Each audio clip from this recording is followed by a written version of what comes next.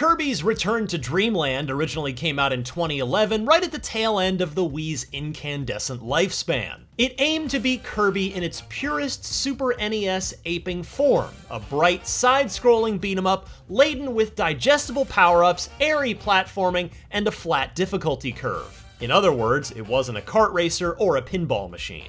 Kirby's Return to Dream Land Deluxe, which hits the Switch later this month, is effectively the same game with some notable bells and whistles tacked on. If Kirby's recent foray into the Forgotten Land has you hungry for more of his trademark Day-Glo hijinks, then Nintendo will gladly let us explore the fairly recent past.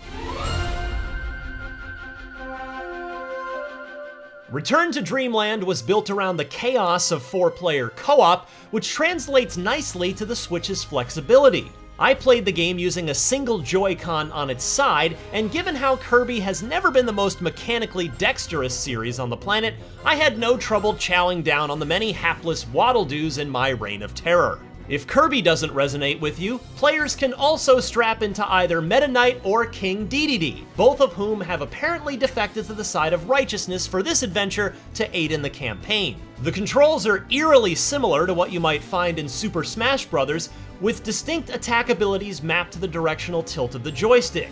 Yes, Kirby has an up B, a down B, and even a bubble shield in Return to Dream Land. All that's missing is a grapple.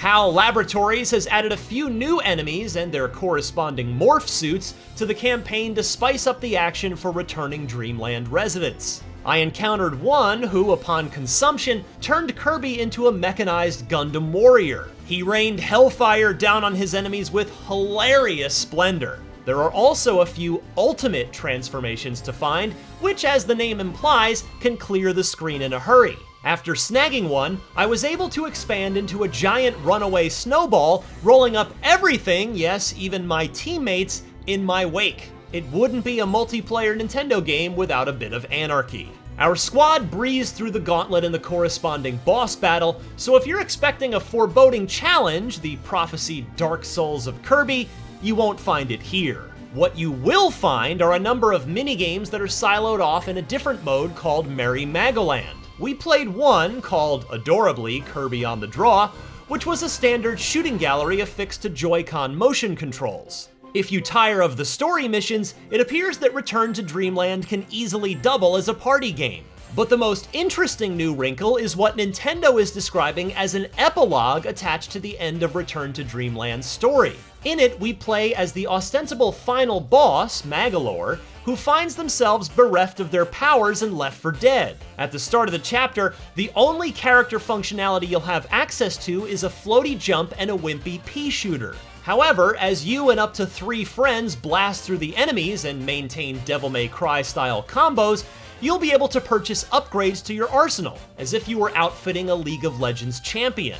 After going under the hood, suddenly Magolor's energy beam covers more ground and he's able to drop bombs from the sky. I wasn't able to see the full depths of Magolor's journey, but structurally, it does appear to pack more of a punch than the effervescent levity that has defined the Kirby series for decades. I doubt it'll match the daunting challenge of, say, Metroid Dread, but it's still an interesting direction. Will that be enough for Return to Dream Land to leave a dent on the release schedule? It's difficult to say. There are certainly more auspicious re-releases lingering in Nintendo's back catalog, and a deluxe version of a tasteful but featherweight Kirby game can't hope to match the same megaton appeal of a remastered take on Skyward Sword or Link's Awakening, both of which recently made their way to the Switch. Still, this is a surprisingly generous package for a game that could have easily been saddled with the standard HD upres and a few quality of life improvements. Kirby's Return to Dream Land wants to be regarded as a brand new game. We'll see if gamers agree. For more on Kirby, don't miss our review of Kirby in the Forgotten Land, and for all of your other Nintendo needs, stick with IGN.